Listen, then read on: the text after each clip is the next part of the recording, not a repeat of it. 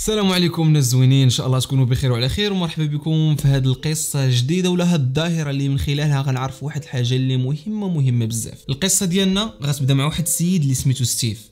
هاد السيد كان مدير ديال المطعم. واحد النهار خرج يتعشى هو والصديقة ديالو. ومن بعد ما سالاو العشاء البوليس غادي يشدوهم. حيت غيلقاو بالصدفة الطوموبيل ديال خونا ستيف كتشبه الطوموبيل ديال واحد خونا اغتصب واحد البنت. وأيضا هاد خونا ستيف غيكون تيشبه لذاك المجرم. المهم البوليس خداو الصور ديال خونا ستيف ومشاو لعند البنت باش تتعرف على المجرم. ومن بعد غتقول باللي ستيف هو اللي اغتصبها.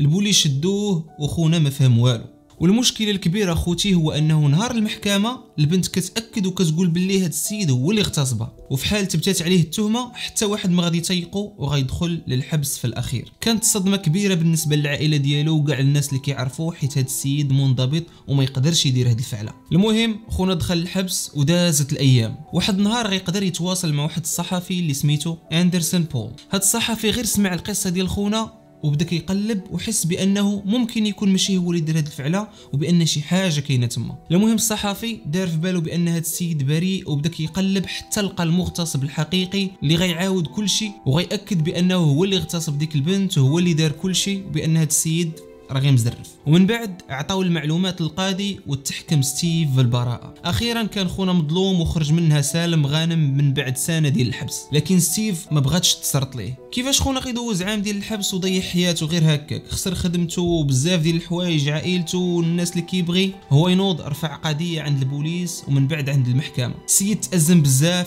جاتو أزمة قلبية ومات بسبب الضغط اللي وقع عليه هو في عمره 35 عام.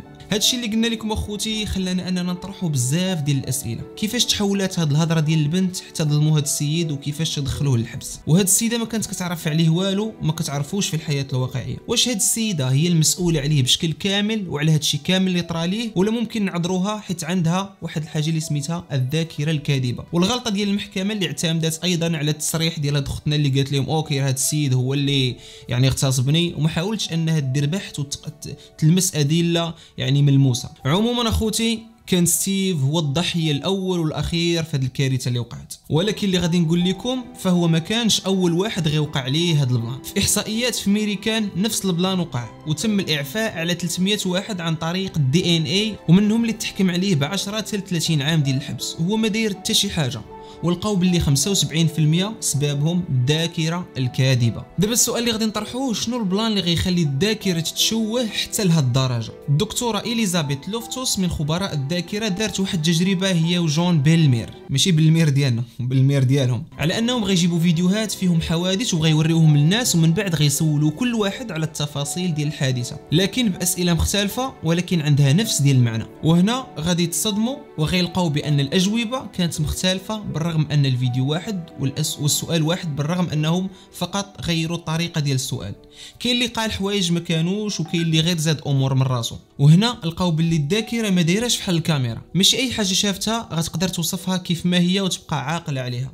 أي ما غتقدرش تعتمد عليها 100% وأيضا جابوا واحد التصويرة مصايبة بالفوتوشوب على أوباما كيسلم على الإيراني أحمد نجاد الرئيس اللي كان سابق ديال إيران. وشي ناس قالوا بان انهم تفكروا هذه اللقطة وبداو كيعطيو تفاصيل وأمور اللي هي أصلا ما كايناش وأن التصويرة مصايبة غير الفوتوشوب وتا التصويرة ما كايناش أصلا. وأيضا داروا واحد التجربه أخرى جابوا شي وحدين وقالوا لهم باللي راه الوالدة ديالك قالت لنا أنك واحد النهار تلفتي في الغابة. وهنا غيلقاو بأن 25% من هاد الناس بأنها تيقات هذا الأمر وبقات كتوقع وكتقول احداث يعني طرات ليها في ذاك الوقت. وحنا غنقولوا لكم بأن هاد التجربة أصلا كانت من محض الخيال وحتى أمر ديال الأم اللي قالت القصة هو فقط يعني شيء مفبرك. في التسعينيات واحد الدكتور سميتو سول كيسين. في الجامعة غادي يتهم شي طالبة باللي خسروا البيسيات ولكن في الحقيقة ما داروا والو. في الأول قالوا بأنهم ما داروا والو وما خسروا حتى شي حاجة. ومن بعد جابوا واحد غيقول باللي أنه شافهم باش خسروا البيسيات بأنه شاف كل شيء على عينه. المهم الأغلبية اعترف واخا ما داير والو. كاين فيكم دابا اللي غيقول بأن هاد خوتنا يعني مطمسين ما عارفين والو والذاكره ديالهم أنها ناقصة. واخا كاين واحد الدراسة نشراتها بيهانس اللي جابوا فيها ناس كيقدروا يتذكروا مزيان. يعني يقدر يوصف لك أي حاجة وقعت ليه في واحد الحقبة زمنية ولا في شي بارتية بالتفاصيل المملة. يعني عندهم ذاكرة قوية. ولكن حتى هاد خوتنا اللي عندهم ذاكرة قوية لقاو بأنهم كيزيدوا شي أمور اللي أصلا ما كانش. يعني بخلاصة أخوتي من هاد الشيء كامل ماشي أي حاجة تقدر تعاودها تقدر تكون بصح. ويقدر تكون الذاكرة الكاذبة غيرات فيها شي أمور. أيضا ما يمكنش أي حاجة في الذاكرة غالطة لكن كيبقى الاحتياط وخصوصا في الجرائم. كيف ما شفتوا الناس دوزات الحبس غير باطل ما دايرين والو وكانوا غير ضحية ديال هاد الذاكرة الكاذبة. ما تنساوش أخوتي تقولوا لينا شنو بان لكم في هذا ال plan. وكاين واحد المثل مغربي تيقول لك دائما المغاربة كيزيدوا بليلة. المغاربة تيزيدوا بليلة يعني الأمور اللي سمعوها ضروري غتلقاها مغيرة. اذا أخوتي إلا وصلتي أنت لهاد المرحلة هذه وشفتي هاد الفيديو أنا كنقول لك شكرا بزاف على أنك تبعتي الفيديو من الأول الأخر. كنشكركم بزاف ونشوفكم في الحلقة الجاية. ما تنساوش أنكم ديروا like سبسكرايب ونشوفكم في الحلقات الجاية. سلام عليكم.